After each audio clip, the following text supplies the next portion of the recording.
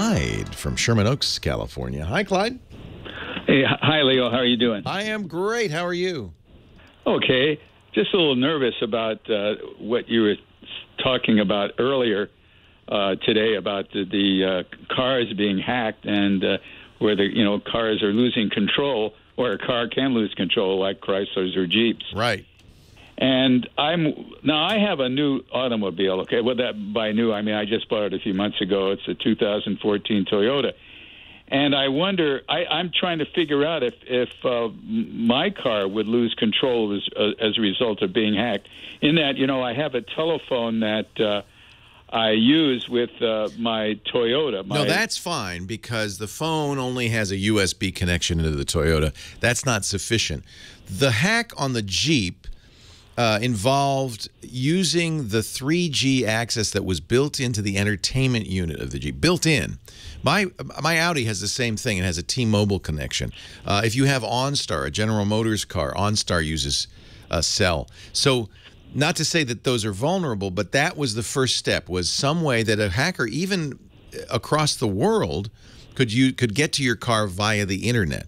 And that's what they did. They actually were able to uh, hack that Jeep via the internet using a, a Sprint mobile connection built into the uh, entertainment system. The real flaw, and I'm sure the flaw Fiat Chrysler's fixing, and the flaw that is in a lot of systems, is that the entertainment unit and the computer running the car, the braking, the ignition, all of that stuff, are not physically separated. Uh, they are connected in many cars, and this was, a, I think, a cost saving by a uh, something called a CAN bus, which is think of it as an internal car network. So that means if you can find a vulnerability in the multimedia uh, stuff, you might be able to cross that software only barrier into the car's electronics, and that's the risk because then you can do things like, you know, turn off the brakes. We saw this before. I think was it uh, 20/20 or 60 Minutes? I think it was 60 Minutes.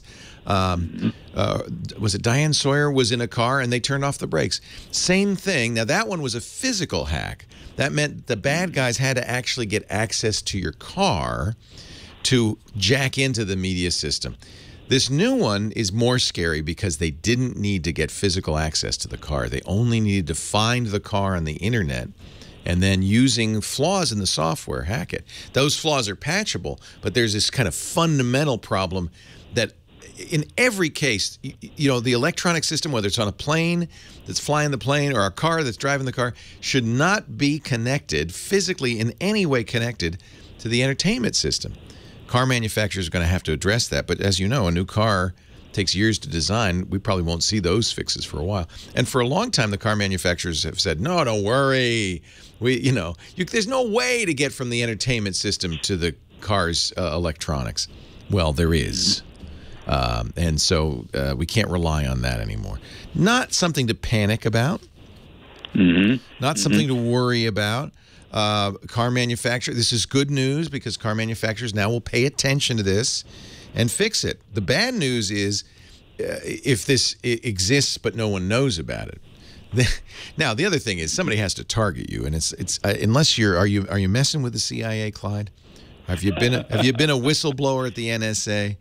Uh, Erin Brockovich, that she should worry you know, the rest of us uh -huh. probably aren't going to get somebody hacking into our system. It's not, it's a non-trivial thing to do. It's just that it's an issue that, that manufacturers have to pay better attention. But we're learning that everywhere. People haven't paid much attention to security. But now there's a very active group of hackers who are looking for flaws in this stuff, and they're finding them. Right. Well, I'm thinking, you know, terrorists, you know, could come over here. I mean, it'd be a good way for ISA, whatever these guys are call themselves, you know. To, yeah, but uh, they don't want just an individual. I'll tell you what I would worry about: the security of our electron, our uh, electrical grid, for instance. Uh, mm -hmm. If there's cyber terrorism, it will happen on a much larger scale, and uh, we know there are vulnerabilities. In fact, uh, we've seen that in many of the computer systems that run the electrical grid, uh, there are security flaws, and some of them even have malware on them. And that's a cause for real concern. Imagine what chaos would ensue if the electrical grid in the United States was shut down by a terrorist remotely. Far worse than having you drive off the road. Mm-hmm. right? So they're not going after Yeah, you. I mean, they're not going after you. And to our, to my knowledge, there's no hack that would affect every car on the road. You have to do it onesie twosie still. Um, but it's something to be paying attention to. And I'm very glad that Fiat Chrysler did that recall. 1.4 million cars are being recalled back to the manufacturer so they can fix this flaw. Yeah, that's what I hear. That's what I heard. Yeah. Yeah. I just wasn't sure if. Well, now that you told me that it's not controlled by the internet, I just wasn't sure. I have, of course, an internet, uh, but uh, Not just from p- pairing your your your cell phone to the car. You're fine. At least to- Okay. so far. I, I shouldn't make any promises. These guys are ingenious. The, the guy uh, who did this uh, is well known. He's a, he's what we call a white hat hacker. He's not doing it uh, f- to make money or to, to, to, to bug people. He is uh, a guy who goes around looking for flaws, and he's made a lot of money finding bugs and telling companies about them. Uh, well, it's good that he did that. You know, you know what I mean? absolutely. you know, yeah.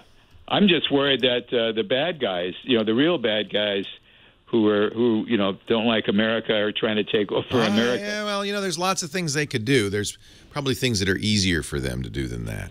I would think so. Yeah. I, I would think so. Most- I think that. mhm. Most of the um, uh, kind of terrorists type attacks are state sponsored. And uh, in other words, we know that, that China, for instance, has a fairly large uh, division in its military of hackers, and that they are actively looking to hack American companies, trying to get information for economic reasons. Right. Right. So right. th- these skills are very high level skills. It's not going to be the, the kid in Bulgaria who's figured out a way to drive you off the road. There's no incentive for him to do that. But state sponsored hacking is something we should probably be very concerned about. Mm-hmm. Well, I really appreciate uh, that information because I was wondering what. Don't worry.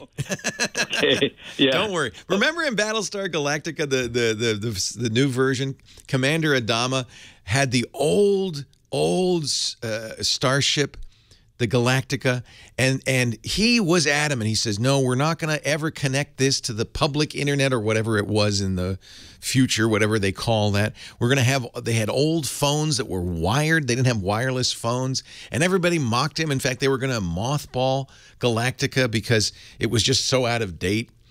And then the Cylons hacked everybody else. They couldn't get Galactica because it wasn't on the grid. The problem is we're putting everything on the grid now, including your thermostat, uh, medical gear, uh, everything is on the internet. And that's risky. When your car is on the internet, you see, the, you see what happens. Charlie Miller said to himself, hmm, I wonder if I could find that car, find its IP address, hack it. And he did by remote control. That is scary. Somebody in the chat room says, That's no problem. You just buy a 57 Chevy, you'll be safe. That's the Battlestar Galactica of cars.